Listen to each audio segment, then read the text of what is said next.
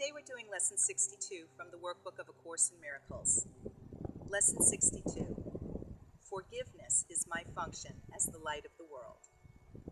Forgiveness is my function as the light of the world. It is your forgiveness that will bring the world of darkness to the light. It is your forgiveness that lets you recognize the light in which you see. Forgiveness is the demonstration that you are the light of the world. Through your forgiveness does the truth about yourself return to your memory. Therefore, in your forgiveness lies your salvation. Illusions about yourself and the world are one. That is why all forgiveness is a gift to yourself.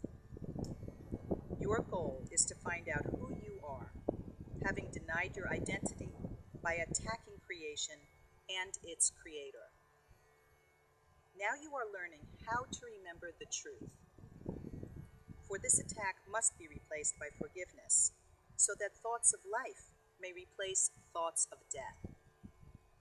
Remember that in every attack, you call upon your own weakness, while each time you forgive, you call upon the strength of Christ in you.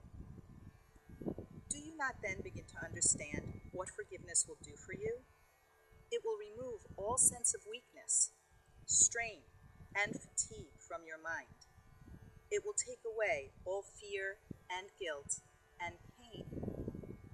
It will restore the invulnerability and power God gave His Son to your awareness. Let us be glad to begin and end this day by practicing today's idea and to use it as frequently as possible throughout the day. It will help to make the day as happy for you as God wants you to be, and it will help those around you, as well as those who seem to be far away in space and time, to share this happiness with you.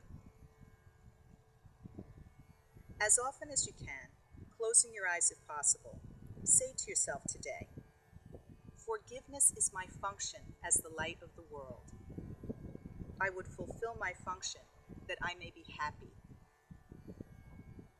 Then devote a minute or two to considering your function and the happiness and release it will bring you. Let related thoughts come freely, for your heart will recognize these words, and in your mind is the awareness they are true.